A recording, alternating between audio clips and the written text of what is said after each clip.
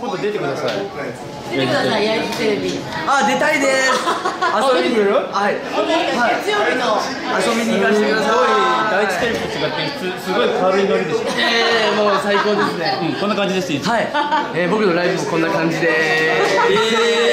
えー。あこちゃんね小ギラッタと一緒に番組やってるんですよ。え？そうなんですかっていう。ゆるキャラ。はい。焼津のゆるキャラで。はい。ぜひ一緒に出たいです。出てください。はい遊びに行かせてください。いつ来るいつ来るす。いつえーと次あいつ来る予定が全く決まってないので。来年の2月14日復帰。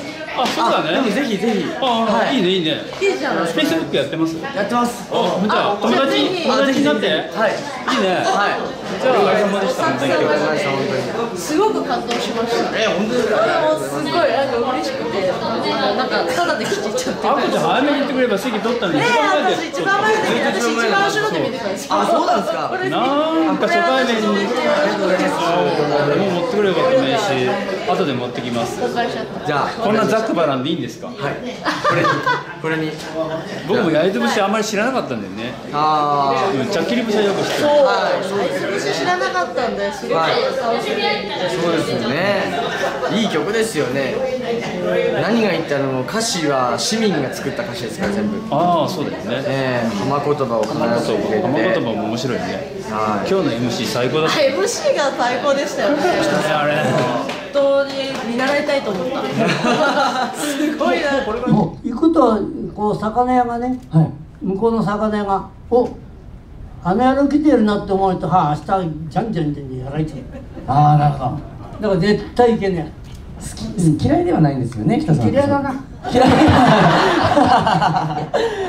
えー、でもこういうお話も僕らの世代になると本当に聞けないので今日は本当に貴重なはい。あの石巻の広い山広い広い山広い山。はい。あのうちの一番あのてっぺんのうちのお料理屋あるなはい。あそこはいいもの食わされだ。そうなんですか。へえじゃあ今度行ってみます。はい。今じゃああそここ行ってやるときたら紹介やってて分かんないな。そこは分かんないですね。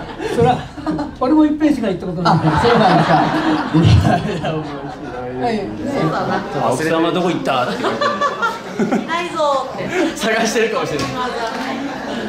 じゃあすみませんあすいまりがとうございません。ありがとうございましたじゃあ来年よろしくお願いします。よろしくお願いします。よろしくお願いしま本当にやるからって言いはい。ありがとうございますあこちゃんほいじゃあ最後最後ほら。はい。あ写真写んなくていい？イベント。はい。もしあれでしたら、あわかりました。探してください。はい。よろしくお願いします。お邪魔しました。お邪魔しました。楽楽屋まで。すいません。キャールが泣くんで